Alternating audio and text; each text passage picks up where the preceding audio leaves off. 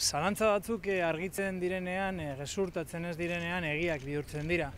Gaur esan dezakegu e, Jorge, Jorge Aldekoa, Inigo Kabakaz eriotz bihurtu zuen operatibo polizialaren burua dela, eta gaur guztio dakigunez ertzantza buru bihurtzen dute.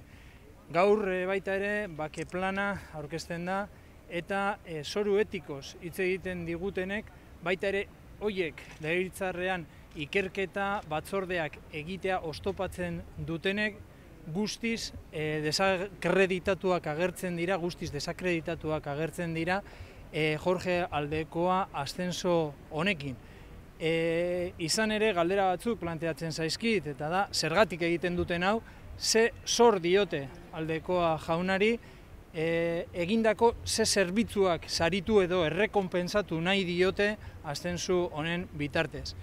E, gaur Jorge Aldekoa eta ertzantza eredu berri bat e, bi kontzeptu horiek esaldi berean jartzea guztiz lotxagarri iruditzen zaigu, sarkasmo bat konsideratzen dugu, izan ere, ertzantzak gaur egun e, bere agenda politikoan daukan lehentasun izan behar du, ertzantzaren bortizkeriaren ondorioz sortutako e, eriotz biktima hau, inigo kabakaz kasu hau, guztiz, guztiz argitzea.